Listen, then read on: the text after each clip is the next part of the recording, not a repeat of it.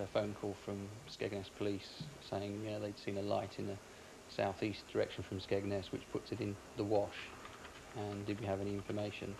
And we questioned the policeman and asked him could he see any aircraft, did he hear any noise activity. He said no, so we made a broadcast on the radio for any vessels in the wash to uh, respond to us.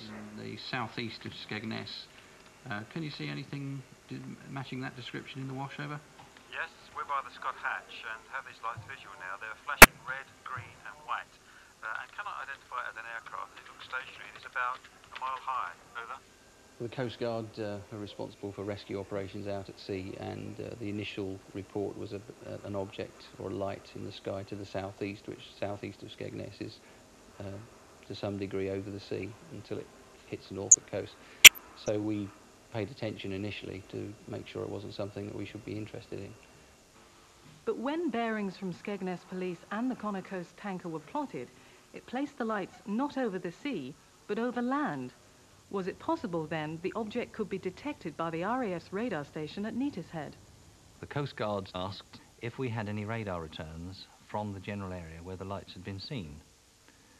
They uh, looked at the screens and we had nothing on our own air defence radar screens at all. But on one of the air traffic radar there was shown to be a return which appeared to be in the similar area to where the lights had been seen.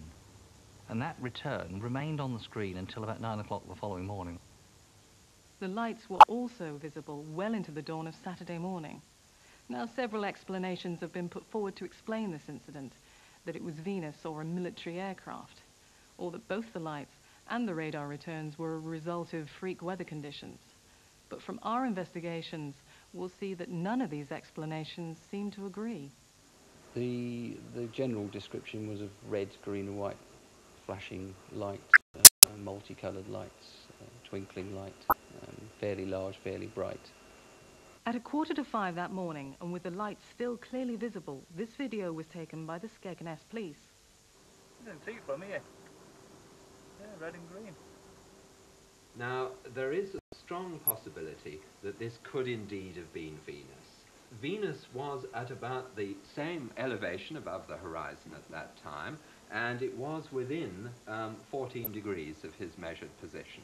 Now I've seen the, the, um, the video, and it is quite obvious from the, the way the, the image flickers, what we're looking at is a very bright, um, unresolved, distant light.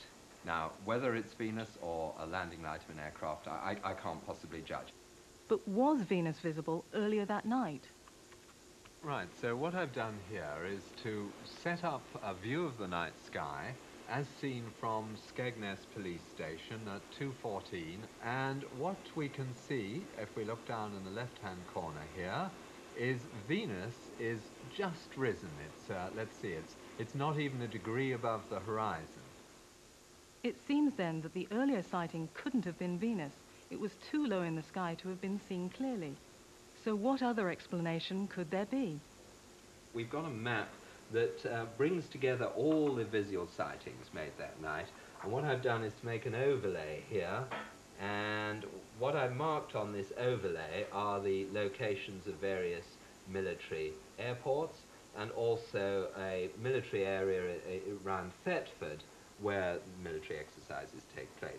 Now, I have no idea whether there were any such operations that night, but we do see a number of the sightings do seem to converge towards that region, and even the uh, Connor coast um, was looking in that direction. Over the years, we've had a lot of reports of UFOs um, arriving at the observatory.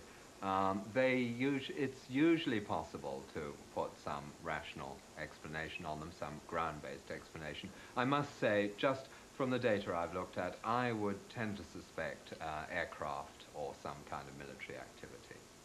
As far as we were aware, um, there, there was no aircraft activity in that area. Um, there were certainly no exercises on. Now, on the Monday morning, we investigated to find out what this radar return was and whether it was in fact anything to do with the lights that had supposedly been seen. And it turned out that the atmospheric conditions on the, the Friday night were what were called anaprop conditions, where some of the radar uh, beam is actually reflected off an atmospheric layer, and it bounced along between the atmospheric layer and the ground and brought a return back off the church tower at Boston, known as Boston Stump. And that was the return that we'd seen on the screen. It's well known that radar can be affected by atmospheric conditions, the same conditions that affect TV and radio signals. And perhaps freak weather was responsible for the flashing lights. We asked Anglia Television's weatherman, Jim Bacon, to look up his records for that night. It wasn't that sort of weather, I have to say. W- What we had then was exactly the opposite.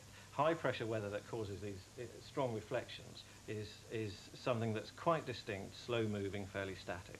What we had on the night of the 4th and the 5th of October uh, was uh, air that's inclined to make showers, very active convective clouds, we call them in the business, tall, towering cumulus, cumulonimbus clouds. When the air wants to rise, it doesn't want to form layers near the surface. So it's exactly the wrong sort of weather for making these unusual radar echoes. But was it the sort of weather that could have accounted for lights in the sky? Yes, if you count lightning as uh, in that category, certainly it would. But on this chart, which is the chart for midnight, sort of right in the middle of that period, there was what we call a trough which showed up. Now this would have been a band of very heavy showers, thunderstorms almost certainly in some cases, and that would have been moving slowly eastwards across the southern North Sea uh, during the course of that night. The object seemed to be there for some hours. Could that have been a thunderstorm? It's very unlikely one would get anything to stay in place for, I'm not sure how long this event lasted for, but several hours, and it doesn't sound too much like a thunderstorm. So what was the light picked up by the police video? Well, an extraterrestrial spacecraft can't be completely eliminated, but uh, I think we should explore all the more conventional possibilities first. Bill Rose is an expert on black aviation, stealth aircraft. He believes the incident was a military experiment. The stealth aircraft are designed to be invisible to radar, and that's what makes this sighting quite interesting. The Americans have from time to time flown secret aircraft from British bases, and it's just possible it is something fairly exotic that was being tested over the wash, and um, they got caught out. I, I suspect the MOD knows a little bit more about this incident than they've actually let on. We invited the MOD to take part in the program. They declined the invitation, as did the police. The MOD did, however, send us a statement. In it, it says that the radar trace was due to freak weather conditions. It goes on to say, the lights were of celestial origin and were likely to be the planet Venus. It seems from our investigation that a great deal of confusion still surrounds this incident. Whether it was a secret military experiment, visitors from outer space, a planet, or just the good old-fashioned British weather playing tricks on us, is likely to remain a mystery. to the